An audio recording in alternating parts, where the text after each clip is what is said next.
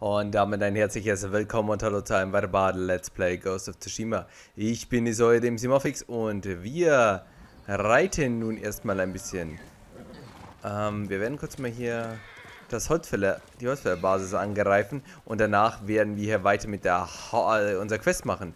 Wir haben beim letzten Mal hier eigentlich versucht, ein wenig Essen zu sammeln für unsere Ronin-Freunde hier. Hat leider nicht allzu gut geklappt, aber kommt sicher noch. Zumindest haben wir einen Verbündeten und wir werden hier die Hunde noch ein bisschen weiter angreifen und dann werden wir schon irgendwann noch was zu essen für unsere Freunde bekommen. Jetzt äh, kümmern wir uns aber gleich mal um eine mystische Rüstung, über die wir etwas gehört haben, die den Träger unverwundbar machen sollte. Töte einen Gegner mit einer Haftbombe. Habe ich ja Haftbombe überhaupt schon? Jo. Was habe ich eigentlich von dem Bonus? Jetzt mal so auf ganz blöd. Oi, Leute. Das war schon wieder schlecht, Mann.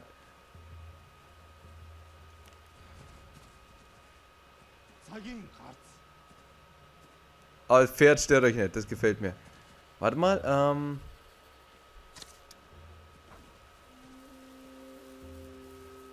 Ich habe doch gar keine Haftbombe, oder? Die habe ich doch noch gar nicht.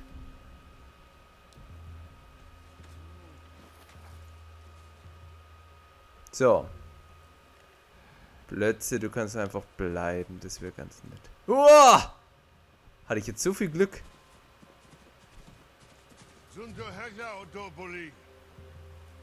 Hatte ich so viel Glück? Ich bin jetzt nur Zufall auf die andere Seite gegangen. Sonst hätten die mich erwischt, die Penner.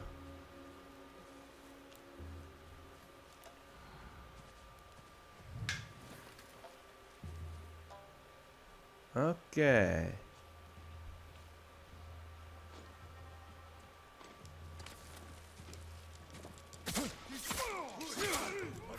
Das war jetzt nicht so, wie ich mir das vorgestellt habe. Entschuldigung! Tut mir leid! Ich hatte das komplett anders vor. Ich suche keinen ehrenhaften Kampf. Ich bin ein Feigling. Das habe ich mir echt komplett anders vorgestellt, Mann. Das war richtig madig, Mann. Hm. Blöde Wurfbombe.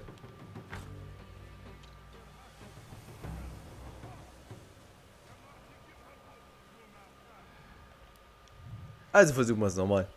Alle guten Dinge sind drei. Verdammt. Da muss ich ja nochmal fehlen, oder? Ne, ich wollte eigentlich da hoch und den schnell abmessern. Das hat irgendwie sehr gut geklappt.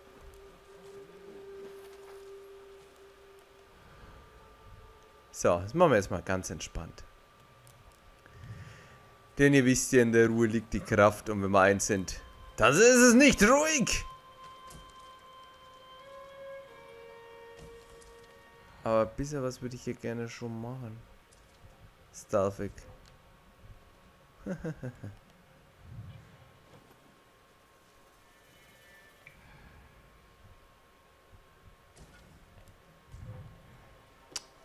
Boah, ist das eine hässliche Location, Mann. Ich weiß nicht, ich habe keine Ahnung, wie ich dahin. Ich gehe jetzt erstmal dahin. Fällt euch mal auch mal auf, dass hier über, dass hier nirgendwo hohes Gras ist. Macht's mir halt bloß nicht so einfach, gell? Na. Schon sind die Gegner schlau geworden. Das erste, was sie machen, ist erstmal alles hohe Gras anzünden. Schön.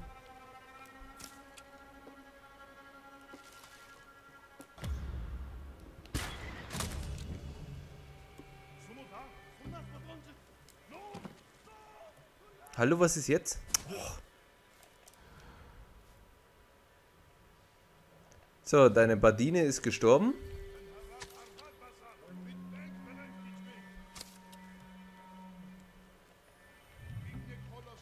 Da oben sind auch welche. Oh.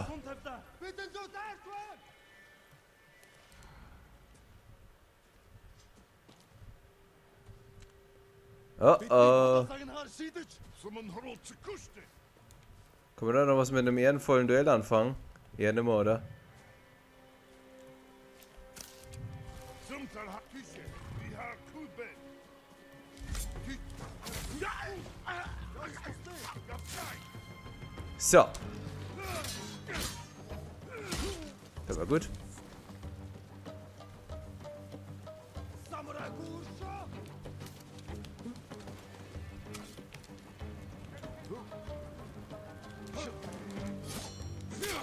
So.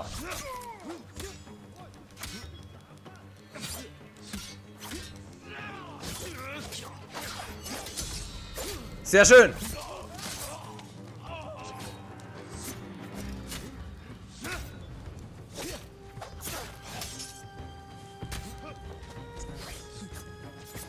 Komm, soll er!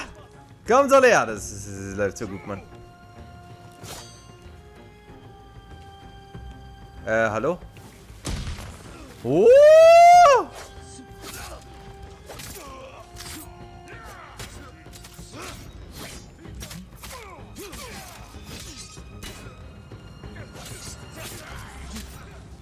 Ich sehe halt gar nichts, Mann. So. Also hier ist die Kamera echt ein bisschen anstrengend. Man sieht so schlecht, Mann, wo man hingehen muss. Immerhin habe ich wirklich aktuell sehr den Vorteil. Ja, das ist übrigens meine Haftbombe.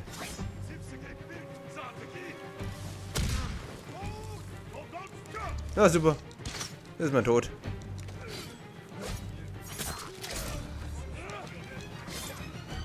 Die Haftbombe war zwar nicht schlecht, aber ich hätte sie halt auf die Gegner schmeißen müssen und nicht auf mich.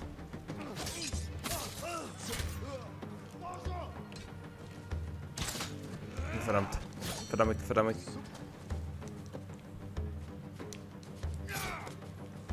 So. Okay. Ich brauche eine Location, wo mich keine Bogenschützen abschließen. Da oben. Sie dürfen welche sein. Das heißt...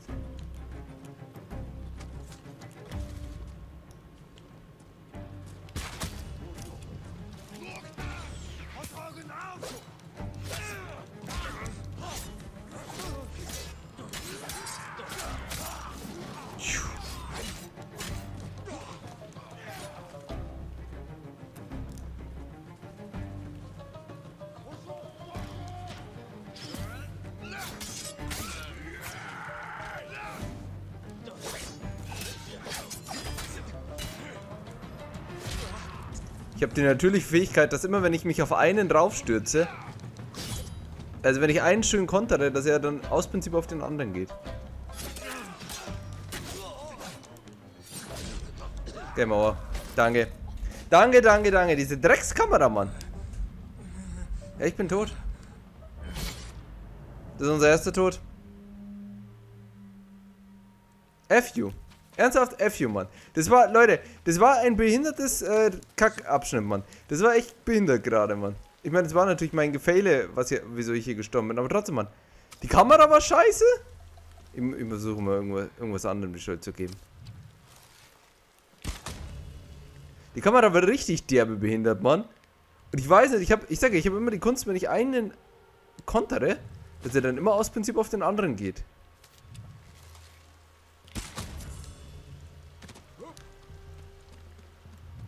So, jetzt langt's mir aber.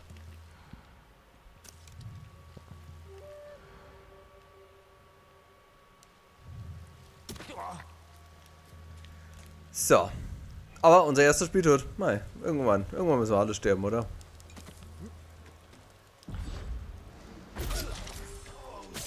Zumindest du.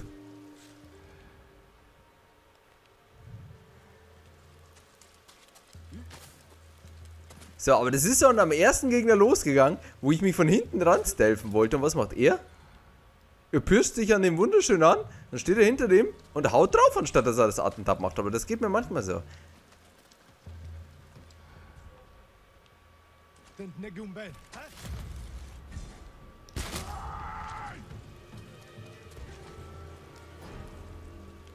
So, ich habe mich einfach früher auch zurückziehen müssen. Hätte ich natürlich machen können.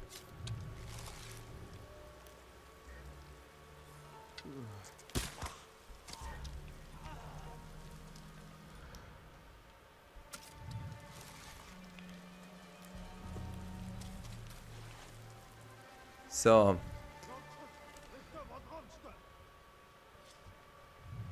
Geht da rein.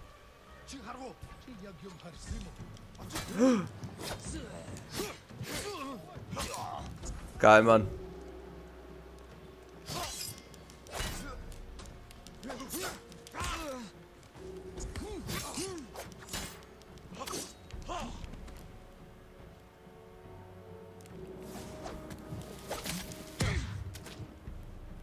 Alter, steh auf, Mann! So. Oh. Unehrenhaft gekämpft, aber unehrenhaft gewonnen. Oh, diese Kackschockbomben.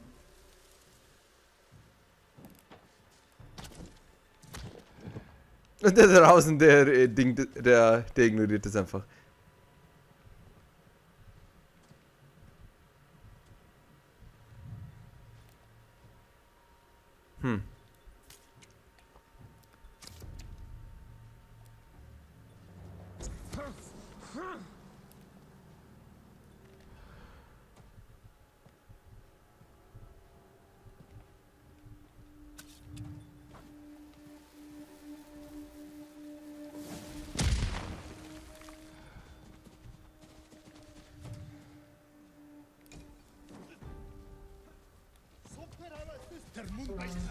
So.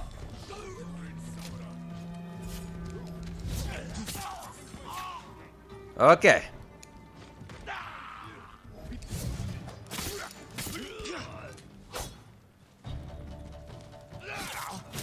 Jetzt können wir spielen, Mann.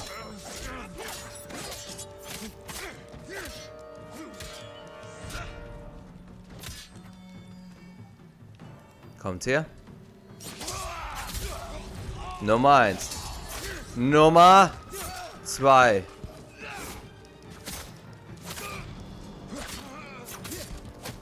Nummer 3. Wo seid ihr?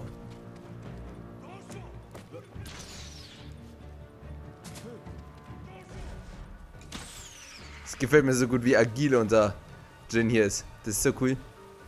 Einzige, was mir gar nicht gut gefällt, ist der Wechsel von den Fernkampfwaffen. Der Bogen, der sollte immer auf L2 nämlich sein. Weil den benutzt du mit Abstand am meisten. Warte, was ist da? Was ist da? Sehr schön.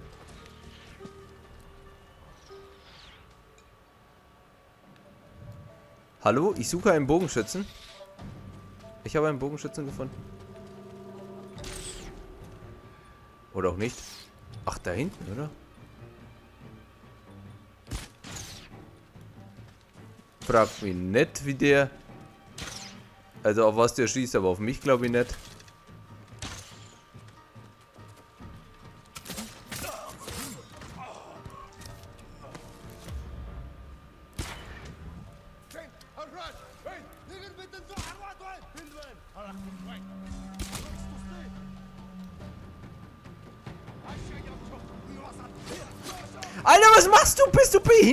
Oder was, Mann? Ich drück nach vorne und er haut irgendwo auf die Seiten.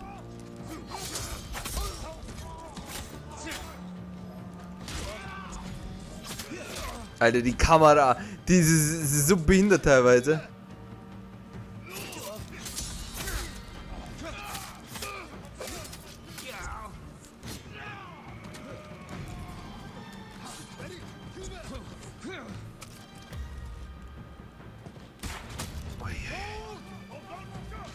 Komm schon. Das Stealthen wäre langsam doch eine bessere Option.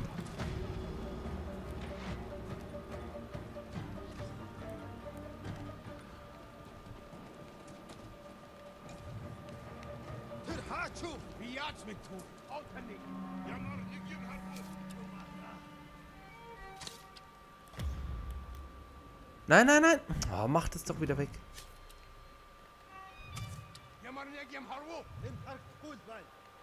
Komm. Das hätte ich mir jetzt irgendwie schneller vorgestellt. Alter, ihr langweilt mich gerade so hart, Mann.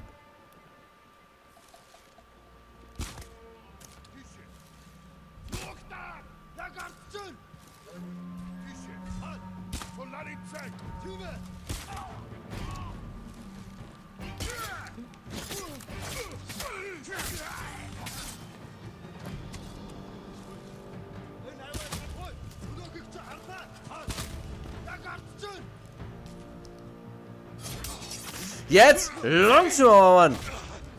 Von einem blöden Schildträger, Mann.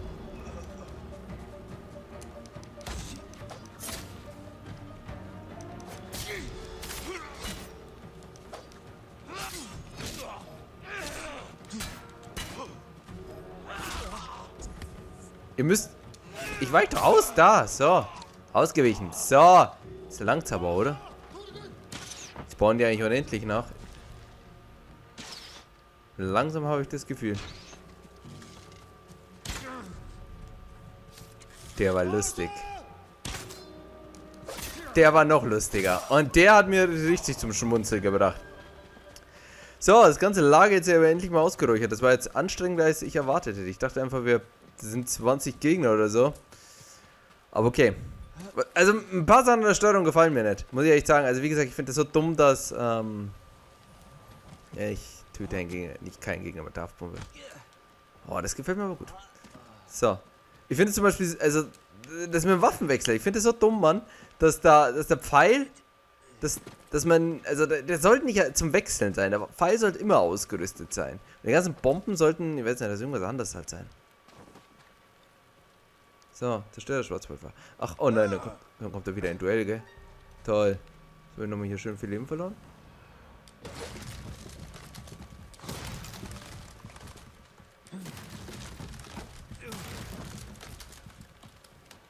So, das Geile ist, es gibt ja keine Möglichkeit, jetzt hier einfach so Leben herzustellen. Wiederherzustellen. Was die Sache echt viel leichter macht. Aber okay, jetzt gehe ich nämlich dahin.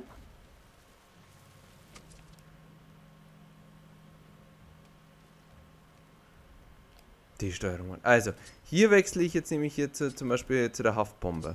Okay. Die werden wir definitiv nämlich im nächsten Duell beenden.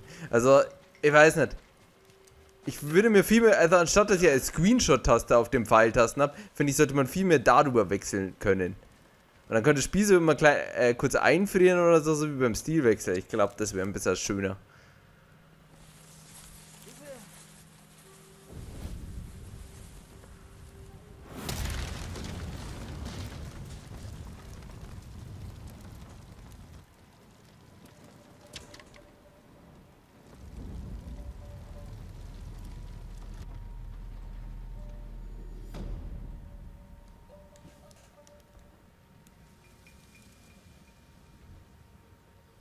Okay, kein Showdown. Das ist wahrscheinlich, weil ich den Kommandanten schon davor eliminiert habe. Schade. Okay, kann ich jetzt auch nichts dagegen machen. War aber sehr schlecht. So. Haben wir gut gemacht. Zumindest ein bisschen. Zwei Gold. Aha. Ich würde dich gegen nichts tauschen. Ijo. Gegen eine Milliarde Pferde. So, aber nur eine Milliarde. Gut. Jetzt kümmern wir uns eigentlich um das, wo wir uns eigentlich darum kümmern wollten, wenn es mir erlaubt wird. Okay. Kann ich nicht? Wieso kann ich das nicht? Da muss ich jetzt hin. Ah, okay. Obwohl, warte mal. Es wäre jetzt dumm von mir. Ich kann mich doch hier... Aber nein, ich will das mit Juna, will ich erst danach machen. Das ist zwar jetzt direkt hier, aber ich kann mir jede, zu, jederzeit zum Holzlager jetzt hinwarpen. Dann kommt man das immer noch danach machen. Ne, aber wie gesagt, es gibt so ein paar Steuerungsdinger und das, das kommt echt groß ins Gewicht. Also zum Beispiel, dass ich den Stilwechsel machen kann. Das mit dem Stilwechsel funktioniert super. Er hat es gehalten und dann anders. Aber zum Beispiel, dass ich die Waffen, also die auch mit der 2 wechseln muss, also die Schnell Waffen zum schnellen Gebrauch und die Fernkampfwaffen, die kann ich nicht wechseln. Da muss ich da muss ich da muss ich wieder L2 drücken, aber da hält die Zeit nicht an, was das alles ein bisschen schwerer macht. Also, da gibt es schon so ein paar Sachen, die sind nicht so richtig, richtig schön durchdacht in meinen Augen. Also, das hätte man zumindest schöner machen können. Oh. Hätte ich fast auf das Ömerleinchen hier geschossen. Diese Menschen brauchen Hilfe. Ich hoffe nur, Hanaoka erreicht sie rechtzeitig. Wenn nicht, Wer braucht Hilfe? Ein Lager mit Flüchtlingen. Sie sind sehr krank. Ihr Heiler Hanaoka versucht, sie zu erreichen. Die Mongolen haben die Region in die Knie gezwungen. Banditen kontrollieren die Straßen. Der Heiler wird Hilfe brauchen. Ja, ja, wenn wir Zeit haben. Aber jetzt auf ganz blöd kann ich mich da eigentlich irgendwo hinwarpen. Jo. Wäre zwar sinnvoll, dass wir da die Karte noch ein bisschen aufdenken, aber pff.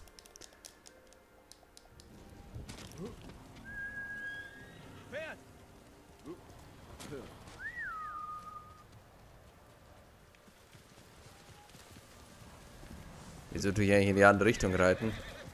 Hm, Das kann ich auch nicht sagen. Was? Ein Gewitter. Das ist, wenn ich schlecht spiele, dann quittert's, oder? Tut mich das Spiel so ausschimpfen. Ja, nee, das war gerade bis jetzt unsere schlechteste Invasion. Da haben wir schon richtig schön, haben wir schon schönere gemacht. Nein, ich wäre es auch. Wir müssen, wir können uns ja wirklich durchstelfen. Und einfach nur die Ziele machen und dann wahrscheinlich, wenn wir am Ende ein Duell haben mit dem Hauptmann, langt das wahrscheinlich. Wir müssen ja gar nicht jeden einzelnen Gegner bezwingen. Denke ich mal. Wer stellt sich mir zuerst? Sehe richtig gut was.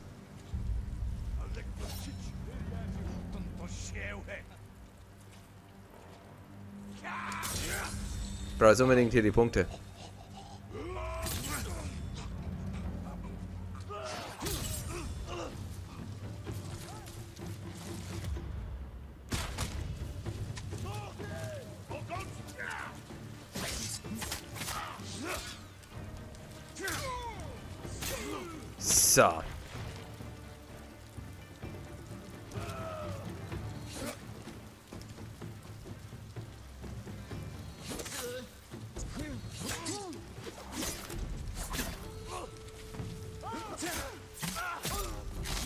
So, ihr habt gesehen, das Taumeln, das hält wirklich länger an. Das ist schon sehr hilfreich.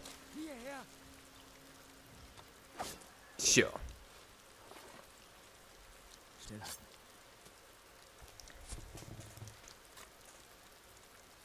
Darum habe ich gebetet. Vorsicht da draußen. Bitte. Ein Zeichen meines Dankes.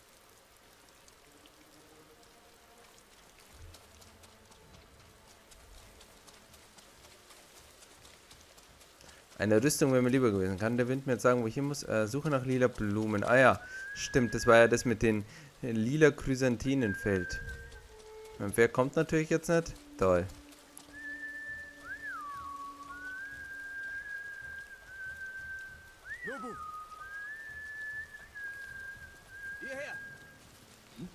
So, dann schauen wir uns mal um, ob wir hier was finden.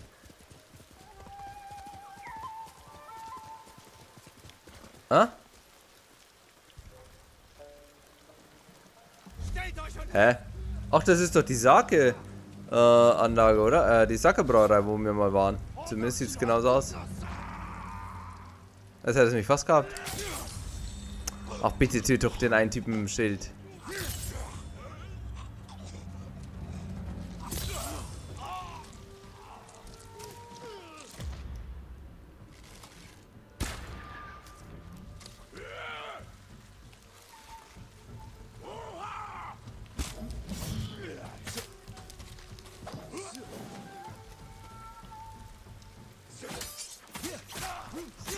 So.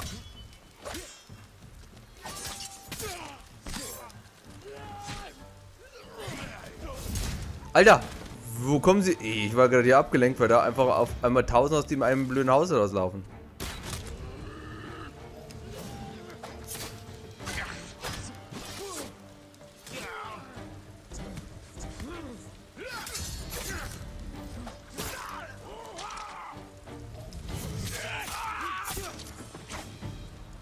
So.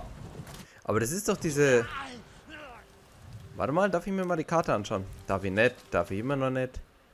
Das ist doch die Sake-Ding, oder? Bin mir fast sicher. Also zumindest sieht es identisch aus. Kann natürlich auch sein, dass es einfach recycelt wurde. So. Aber wisst ihr, was mir halt nicht gefällt an diesen äh, Suchaufgaben? Da- sagt es mir so die lila Boom, aber ich weiß ja teilweise immer nicht, ob, ich im, ob ich überhaupt im Gebiet bin oder ob ich im richtigen Gebiet bin oder ob ich schon zu weit reite. Da muss ich immer auf die Karte schauen und schauen, ob ich richtig bin. Das ist, das ist echt nicht cool. Also das ist das einzige Quest-Design, was echt doof ist, weil es halt auch einfach nicht, ja, es ist halt nicht so richtig sinnführend. Ich meine, ich reite hin und hoffe, dass ich es finde. Ich meine, das ist für mich nicht so geistige Herausforderung. Irgendwas Liedernes suchen. Schauen, ob ich halt immer alle paar Sekunden, ob ich in der Map bin. Also, Da gab es definitiv schönere Missionen. Aber, da, da, da, da, schauen wir mal. Das sieht doch gut aus hier, oder? Kannst du bitte irgendwas sagen?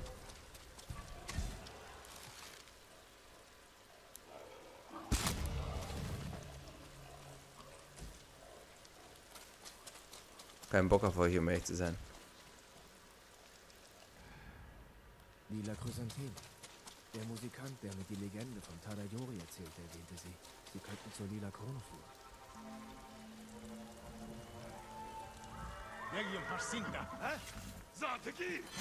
Hä? Wieso haben wir die jetzt einfach gesehen?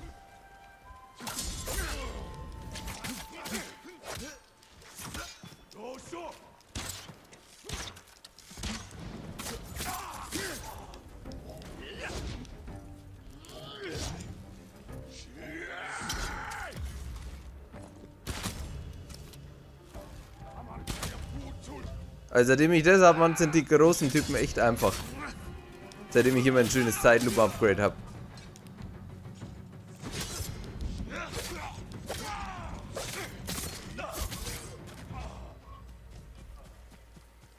So, folgen wir den schönen Blumen, über die wir natürlich einfach äh, rüber trampeln. Und dann schauen wir, was uns hier in der Warte. Uh. Ich denke mal, da müssen wir hin, oder?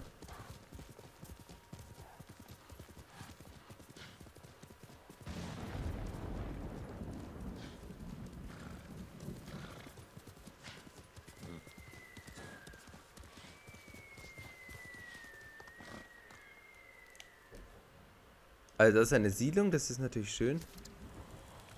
Aber das ist jetzt nicht da, wo ich jetzt hin muss. Zumindest noch nicht. So, das Gewitter macht mir Angst. Irgendwann trifft mich der Blitzmann. Ich prophezei es euch.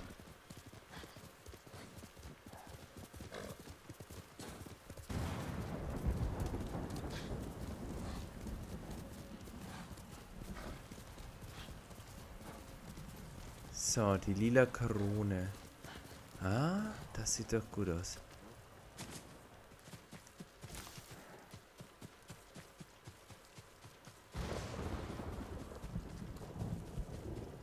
Wenn hier irgendwann mal genug Leute rübergelaufen sind, dann gibt es keine Spur übrigens mehr aus lila Blumen. Nun gut, bevor wir nun schauen, was hier oben auf uns wartet, machen wir aber nochmal einen kleinen Cut und beim nächsten Mal geht es dann hier weiter mit Let's Play Ghost of Tsushima. Bis dann, auf Wiedersehen, ciao.